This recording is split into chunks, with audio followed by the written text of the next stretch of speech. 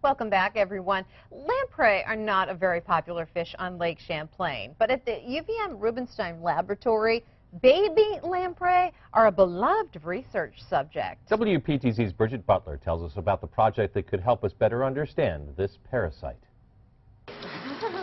This baby lamprey is called a transformer.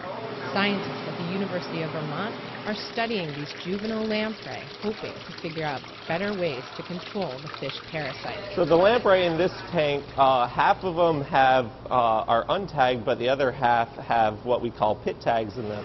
These tiny tags identify each individual transformer for graduate student Lee Simard. We're trying to determine whether or not there's any behavioral differences between tagged lamprey and untagged lamprey. When a tagged lamprey passes through a set of wires in the tank, its information is recorded.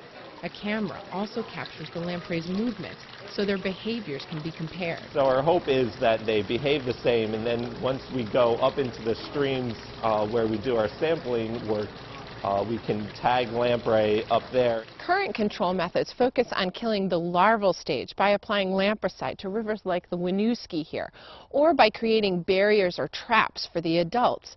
UVM research is trying to figure out how to control the transformer stage before they become parasites. There's not a lot of research on transformers, so this project is kind of getting that going, trying to figure out where and how they migrate from streams and rivers into the lake.